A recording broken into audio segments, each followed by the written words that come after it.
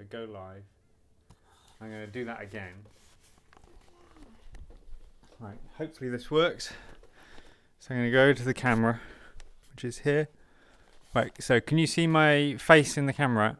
Which camera? Well, like in the screen on the. Can you see me okay? No, I think it's far forwards. Oh. Huh? No, it's just being really slow. Like that.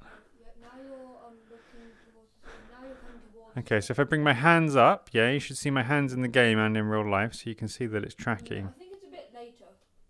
What do you mean by later? Oh, you mean there's a latency? Yeah, there is a latency. Yeah, yeah. You were standing there for a second. Just keep standing there, okay?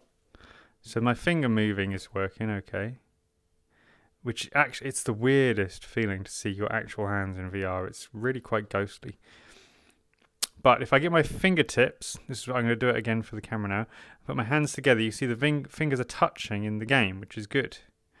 But if I rotate my hands up, keeping my fingers touching, you see that they come apart, even though in real life my fingers are touching. And if I rotate this way, they come apart.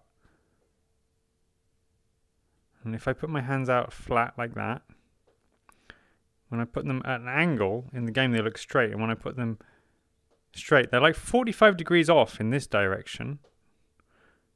And also they're they're they're displaced, so they should be touching at the moment. They're not. So there's something very funny about them.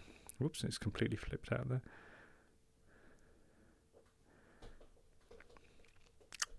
So if I do that and then try and bring them around, that's now they've crossed into each other, whereas in real life they haven't.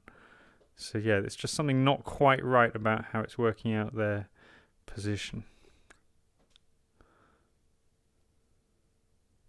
So yeah, so hopefully that video caught it. So if we stop this now, It hasn't done the. Oh, now it's crossing over.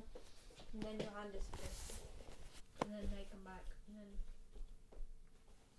Wait for them to just fall on the floor, I guess. Hmm. cool. So then if I go back to obs go stop stream.